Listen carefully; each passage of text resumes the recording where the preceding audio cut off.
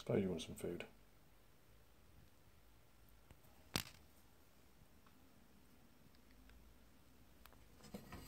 Up. he does like his Brazil nuts.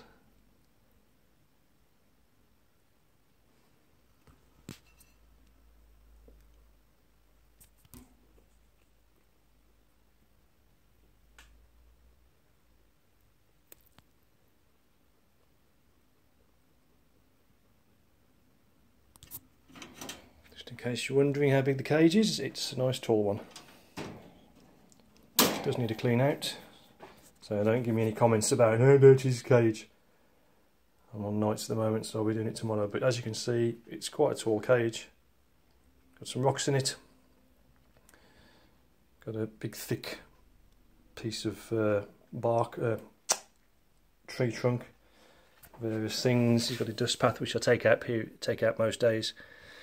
Got a little house there, which he hardly ever uses, but hide food in there.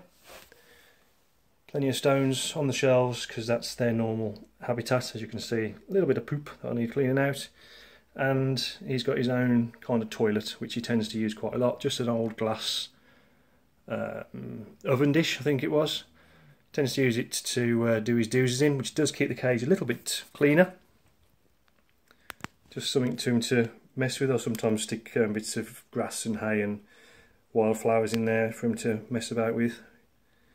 And as I say, he loves his nuts. And that's not a rude comment. So, somebody asked for more chinchilla videos. So here's one. That's all guys and girls for now. I hope you enjoyed this video of Ollie. Thanks for watching and yeah, let's leave it on for a bit longer. Oh, hello.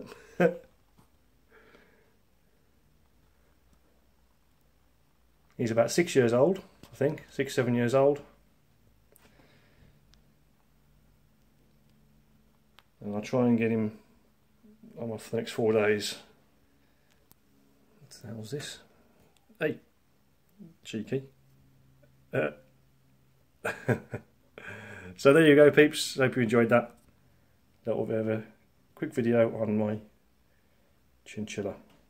Thanks for watching and Take care.